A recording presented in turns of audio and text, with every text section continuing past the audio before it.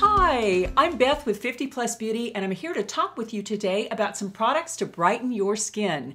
And especially if you're on Retin A, as I am, sometimes Retin A can be the best of times and the worst of times. Over the long haul, it gives you great skin, but over the short term, it can make your skin look kind of ruddy and dull and just not bright and clean and young. Now, if you're not a subscriber, I hope you'll subscribe and click that little bell. That way you won't miss any of my future skincare and makeup videos. And if you could give me a thumbs up, that's always good too.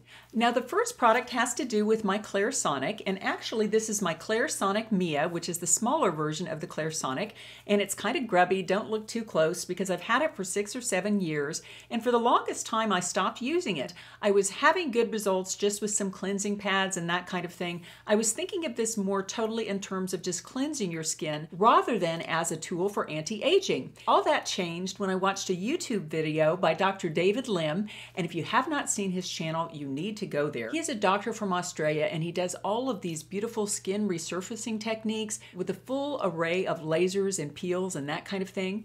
But he was talking about the best skincare product that he would buy for 2018 if he could, and he mentioned the Clarisonic. And he said it is not just for cleansing anymore, that it is wonderful at exfoliating your skin, which gives your skin the bright, even tone that we all want. So that prompted me to pull out my Clarisonic around the first of the year, and I've been using it once or twice a week just to exfoliate my skin, and it really helps with the retin A peelies. I don't use it every day because that is too harsh, especially if you're on retin A. But if you look at this in terms of a beauty tool, using it once or twice a week is a wonderful way to exfoliate your skin and unearth that beautiful glowing skin that's underneath that dull layer on top. Now the Clarisonic people were kind enough to send me some brush heads and I wanted to explain this to you because I think they're really wonderful.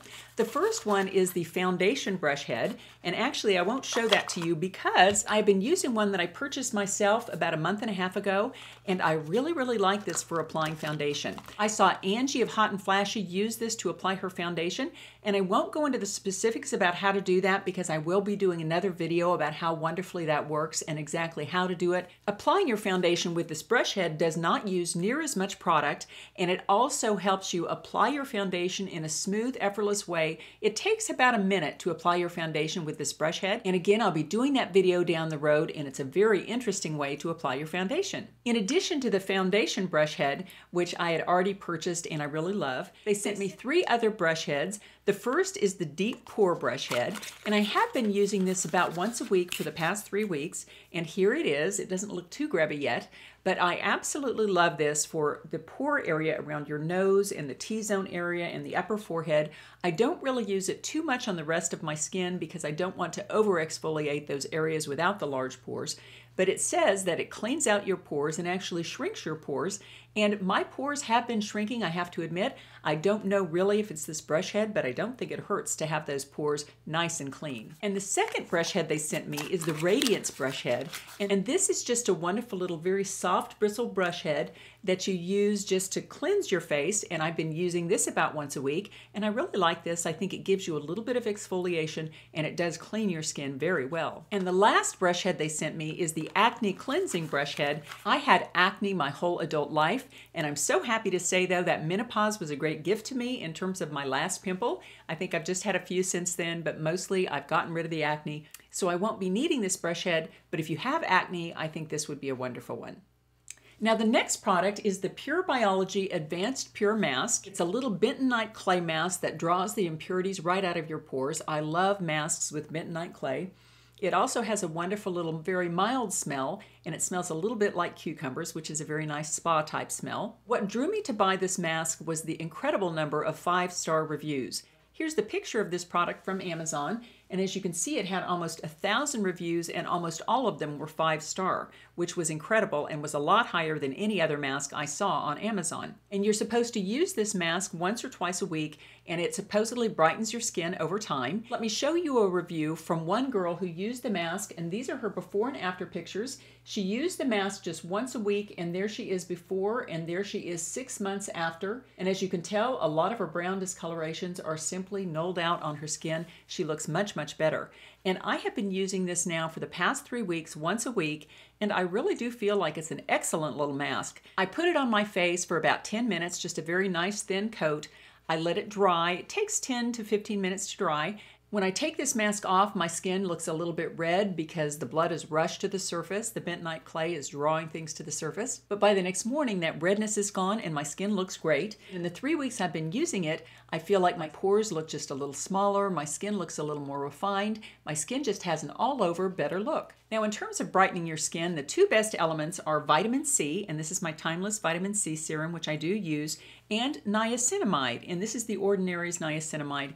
And these are two great products that I think are keeping my skin nice and bright. Now, since we're talking about skincare, I was sent a few products that I wanted to do a brief review on for you. Although I was sent this product, I had also ordered it like a week before, so I have two of them now, so you can tell that I really did want this product. This product is interesting because it contains argireline, which is a protein that is found in a lot of the injectables, and the company claims that after 30 days, there's a 27% reduction in wrinkles, and this is apparently especially good for the deeper wrinkles like around your eyes and on your forehead, kind of the area that Botox would hit. People are saying that this is a Botox substitute, and I use Botox, and this would not be a substitute for Botox. The company calls this a skin tightener and a wrinkle reducer, and I'm adding this to my skincare regimen to see how it works. Now, the next two products contain Matrixyl 3000, and there is a Matrixyl and a Matrixyl 3000, and they're each different types of peptides. The Matrixyl is one peptide, and the Matrixyl 3000 is two peptides, and Matrixyl is said to build collagen, reduce wrinkling,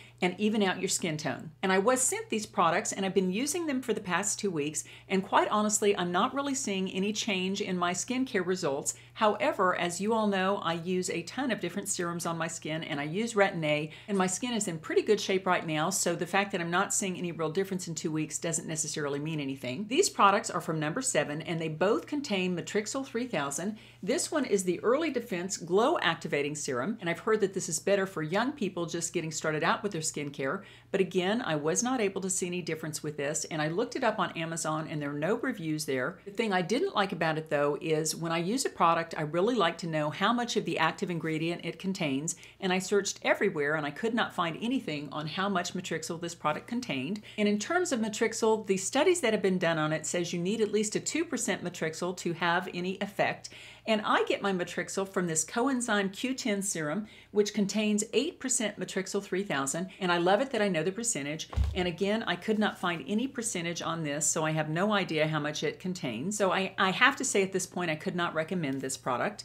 Now, the second number seven product that contains Matrixyl is this Protect and Perfect Intense Advanced Serum. Is an Amazon Choice product, and that tells you something right there. There were over 1,400 reviews on the product, and they were about four and a half stars, which is almost unheard of. People are obviously liking the effects of this serum on their skin, so it may be something you want to look at. Because I could not find out the percentage of Matrixyl it contained, and also because I'm already using Matrixyl product, I won't be adding this to my skincare. Now, in terms of my skincare, I like to think of my lips as part of my skin, because as you know, I'm kind of lip challenged, and I'm always looking for ways to plump up my lips. My husband does not want me to get injectables, which I can kind of understand. So in October, Octoly offered to send me this GrandeLips. I was excited about it. And what it is, it's a lip plumper trio. And it has three different lip plumpers in here. It has something called Volulips in it, which I'm not sure really what that is, but it does give you a tingle, I have to say. It has a clear lip gloss in here. These are their nudes. And then it has a tannish nude, and then it has a more rosy tone nude. And while I didn't really get a plumping effect from these, I felt that they did smooth out my lips and kind of make my lip wrinkles look less noticeable. So I'm going to go ahead and take off my lipstick and try on the rosy and the tan shades. Okay, here we go. I'll start with the more tan shade. And how you get these out is you just push the little lever on the bottom and you can see the lip gloss is coming up there. Go ahead and put that on. I'll come in a little closer to where you can see it. That is a nice little nude shade. I kind of like that. So that's how that one looks. So we'll do the rosier one. Push the little button there. And this is a nice pink color.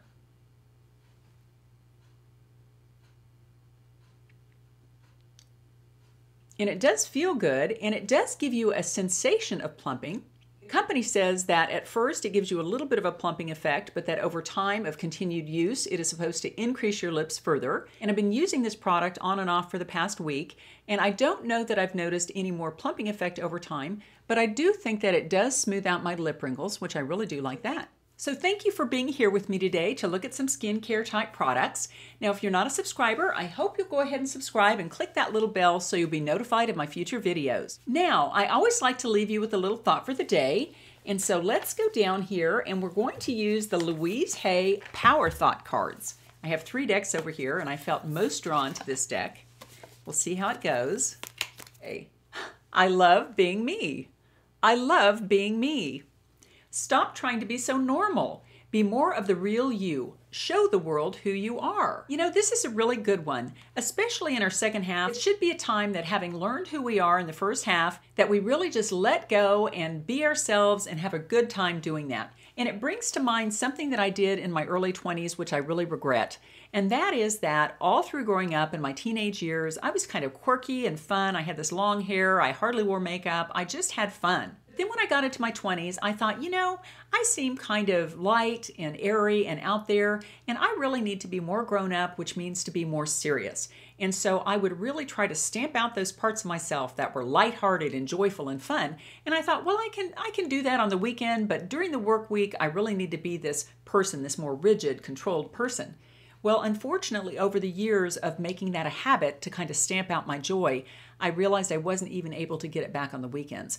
That I was becoming this more somber type person, kind of a rigid, uptight person, and that really wasn't the real me. So, friends, just for today, I hope you'll give up just a little bit trying to be quite so normal and show the world who you really are because God made each one of us unique and special and one of a kind, and that's a wonderful thing. Take care. See you next time.